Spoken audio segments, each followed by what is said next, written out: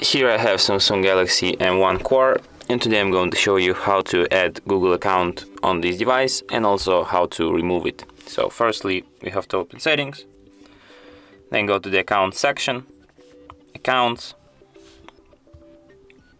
and tap add account. Then you have to select Google. Of course you'll need internet connection to add Google account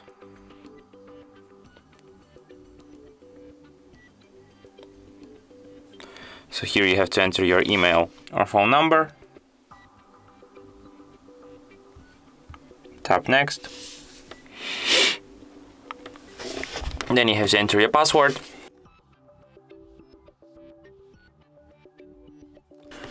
Tap next.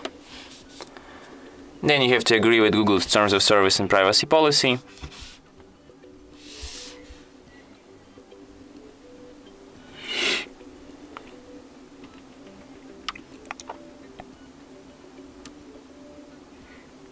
And at last what you will have to do is to tap accept here.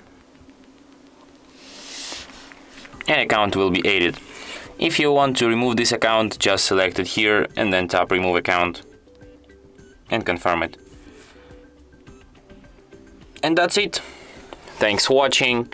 If you find this tutorial useful, don't forget to hit that like button and subscribe to our channel.